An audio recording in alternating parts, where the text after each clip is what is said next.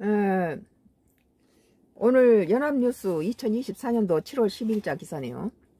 아, 추경호 야 경제망치기 법안 주도 이원정 노, 노란봉투법 반대라는 기사입니다. 안 봐도 비디오네. 정확하게 지적했어요. 정부세, 금투세, 게릴라식 치고 빠지는 전략으로 국민 헷갈리게 해. 라는 기사입니다.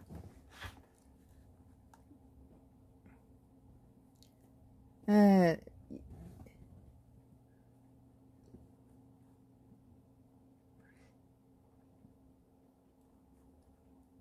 음.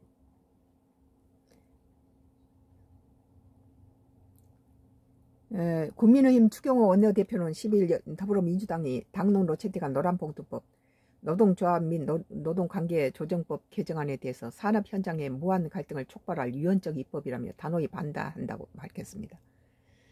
추 원내대표는 이날 국회에서 열린 원내대책회의에서 이재명 전 대표가 먹고 사는 문제만큼은 중요한 거 없다고 했지만 지금 민주당이 입법을 주도하는 여러 법안은 온통 경제망치기 법안이라며 이같이 밝혔다.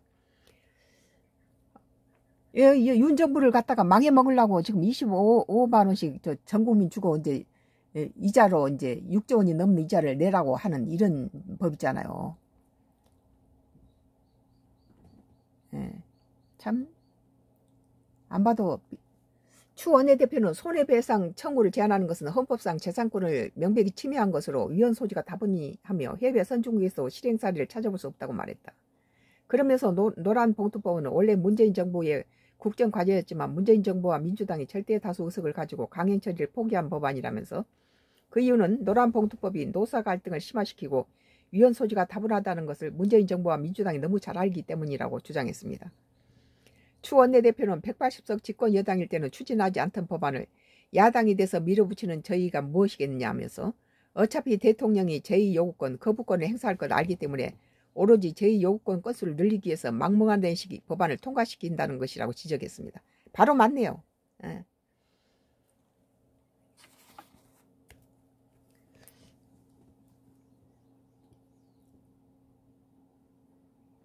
오늘 이, 이것은 JTBC 기사네요. JTBC.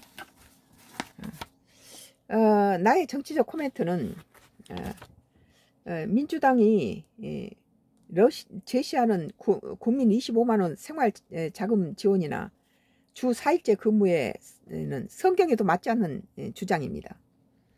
하나님께서는 세상을 창조하시고 6일 동안 창조하신 다음에 7일째 되는 날에는 안식을 취하셨어요. 그러니까 하나님께서도 이 세상을 만드실 때 6일 동안 일하시고 일곱째 날에는 쉬셨는데 지금 5일째 근무잖아요. 그리고 5일째 근무를 하면은 우리 이 저기 국민들은 이틀을 쉬어버리니까 뭐 관공서나 뭐 일을 할 때 너무 힘들어요. 뭐 토요일도 안 하지 일요일도 안 하지. 그 월요일까지 이틀을 쉬고 그 하고 있는데 이거 이제 4일째 근무하면 그 어떻게 하라는 거예요 그게.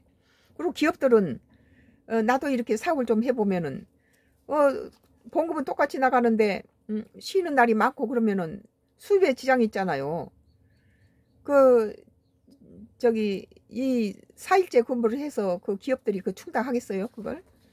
일을 더 다른 나라에서는 일을 더 많이 해가지고 에? 경, 경쟁력을 높이는데 우리나라 기업들은 지금 망해먹으라는 소리죠 그게. 다른 나라는 뭐 중국 같은 경우에는 엄청 인, 인원도 많고 어, 저기 임금도 싸고 어, 뭐주 4일째 운을 안 하죠. 응? 그 아, 중국은 주 5일째도 아닐 거예요. 아마 예, 주 6일째 근무일 거예요. 아마. 그런데 우리나라는 4일째를 주장하고 있고. 그래서 근데 지금 5일째 근무도 국민들이 행정 보는데 불편한데 4일째를 바꾸자고 전 국민 25만 원 주고 기업들이 이윤을 내서 국가와 국민을 살, 살리는 원동력이 되는데 무조건 노동자 위주가 돼서 법을 법제화한다면은 한국 경제는 에, 추락하고 노동자들은 직장을 잃게 되는 거예요. 기업이 죽으면은 노동자도 일자리가 없죠. 살려놓고 그걸 해야지. 문재인 정부 때 기업들 죽이게 해놓으니까 에, 그때는 뭐그 코로나 때문에 그뭐 세금 많이 걷어가지고 경제적 이득이 있었지만은 그 다음에 윤 정부가 이거 바톤을 받아놓고 얼마나 힘들었어요. 그래서 어, 정부는 기업과 노동자가 서로 화합하는 마지노선을 지키도록 해야 하고 노란 봉투법은 마치 전국민 25만 원 후원하고 국가는 1년에 6조 원 빚을 그 빚에 대한 6조 원 빚을 이자를 6조 원씩 내요 국가에서. 1년이면 6조 원씩 넘는 이자 빚을 빚에 이자를 내고 있는데 거기다 또 빚을 준다는 건 말이 안 되는 짓거리죠 이게.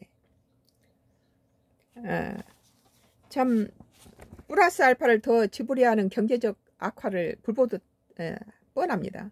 민주당은 나라 죽이기를 해서 정권 탈달, 탈, 차탈하기만 바라는 걸 온 국민은 다 눈치채고 있어요. 이 나라를 잘해 먹자는 소리가 아니고 어떻게든 윤 정부가 정치 망해 먹고 자기들이 다음에 저기 이루, 이루기 위한 것이에요. 제대로 된 야당이 되려면 민주당 당대표를 바꿔야 합니다. 네, 개인적으로 난 그렇게 생각해요. 오늘 JTBC 어, 어, 어, 뉴스 2024년도 7월 10일자 기사네요. 추경호 야 경제 망치기 법안 주도 위헌적 노란봉투법 반대라는 기사에 대해서 나의 정치적 코멘트를 했습니다.